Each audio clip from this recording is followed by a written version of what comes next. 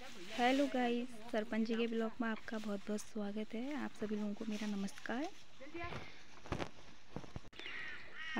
ये है मम्मी, पानी गर्म करते हुए। ये है पहाड़ी गीजर, जिसमें पानी गर्म होता है, आप देख सकते हैं। ये बाँच की लकड़ियों में हम पानी गर्म कर रहे हैं। सुबह के जो हैं अभी साढ़े सात बज रहे हैं। और ये है हमारी घास के लूटे, जो घास हमने पहले काटी थी उसे सुखा के। ये लूटे बनाए हैं, ये देख सकते हैं आप। और ये है हमारे हल्दी के खेत। हमने इसमें हल्दी बोई है। ये इस साल हल्दी जो है, हर तीसरे साल खोदी जाती है, लेकिन इस साल हमने पिछले साल खोदी है तो इस साल हल्दी नहीं खोदेगी। ये देख सकते हैं आप। और ये सब लूटे आप देख सकते हैं। अब आपको हम दिखाते हैं कि लूटे कैसे बनाए जाते हैं। हाय गाइस नमस्कार गुड मॉर्निंग सभी को। आज हम अपना फाइनल लूटा बना रहे हैं। घास का पापा जी मेरा, मेरे लूटा बना रहे हैं। मैं उनको दे दे रहा हूँ। ये इसको घास बोलते हैं, यानी गाजो बोलते हैं, पहाड़ की भाषा में। गाजो के पूले आप देख सकते हैं। ये हमारा लगभग दसवां लूटा तैयार हो रहा है। इस बार, बारिश के कारण घास थोड़ा लेट कटी थी। बस मेरा काम इतना ही होता है कि मैं लूटे में पूले देता हूँ। और इतने बड़े बड़े पूले बना रखे हैं। आज फाइनल है और भी हमारे सारे लूटे हैं। आप लोगों को पहाड़ की याद भी आ रही होगी। जो लोग पहाड़ से हैं, उनको तो पता है, जो किसी को अपने बचपने की भी याद आ रही होगी कि कैसे हम भी लूटा बनाया करते थे। ये ऐसे फेंका जाता है। ये कम से कम 400 सौ पुलों का लूटा बनाया जा रहा है इस बार। सबसे बड़ा फाइनल वाला। इसको बनाने के लिए बहुत अनुभव की ज़रूरत होती है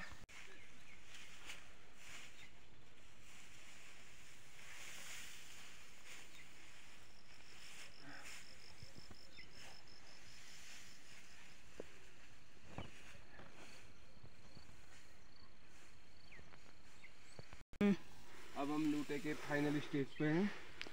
यानी लूटा अब हमारा कंप्लीट होने वाला है।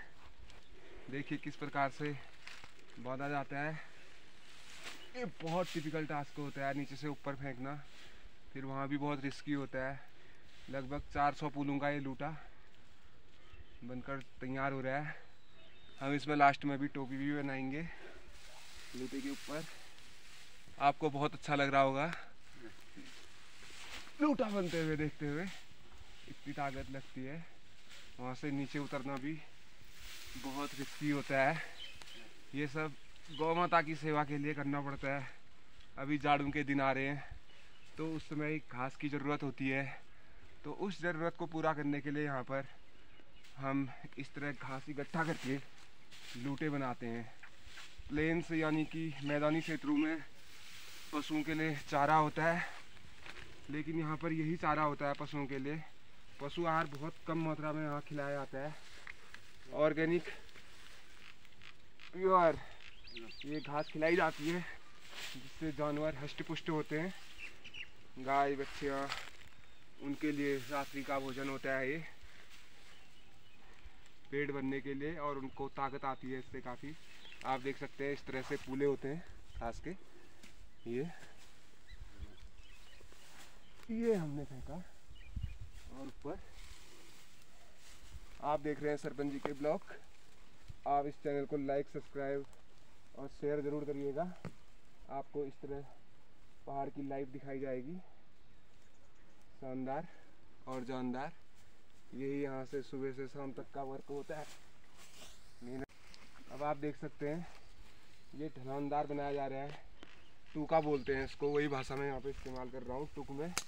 जैसे पता हो बढ़ाई जो जिससे पानी, जो बारिश आएगी बरसात के दिनों में, तब तक भी सुरक्षित रहेगा, इसके अंदर पानी नहीं जाएगा, जिससे ये घास सुरक्षित रहेगी। और इस तरह ढलान, यानी त्रिभुजाकार इसको बनाया जाता है, नीचे से पूरा थैला, और पूरा बैलेंस करते हुए, बहुत ज़्यादा कलाकारी और बहुत ज़्यादा इसमें जो है अनुभव की ज़रूरत होती है। हर कोई इसको बना नहीं पाता है। जो चूहों को ढूंढ रही है चूहे और छोटे छोटे पक्षियों को।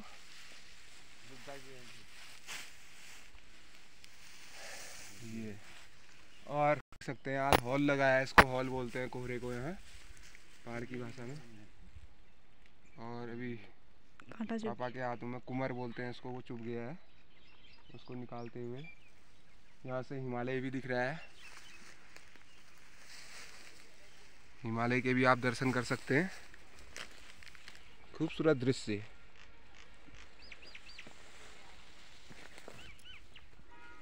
ये ऊपर सड़क है, स्कूल की गाड़ी आ गई है।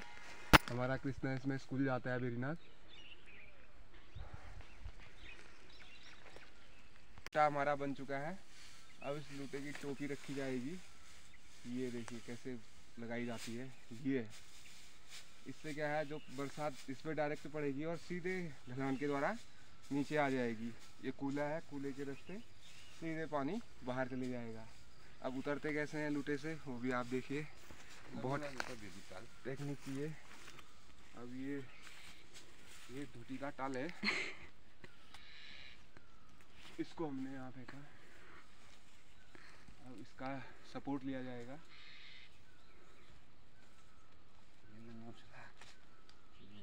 ये छोटा है। तो उतरने चल, काजू डाल दी। ये देखिए, इस तरह से लूटे में इसको बांधा। अब नीचे आने की ये टेक्निक होती है लूटे से।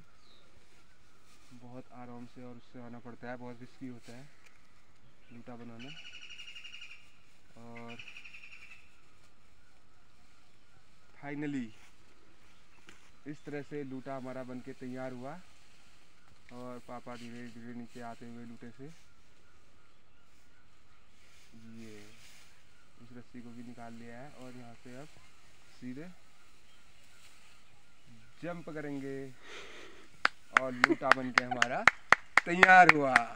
ये आज हमारा फाइनल लूटा इस साल की खास कटाई। और सोच के मैंने से जो चली आ रही थी, आज ये पूरी हुई।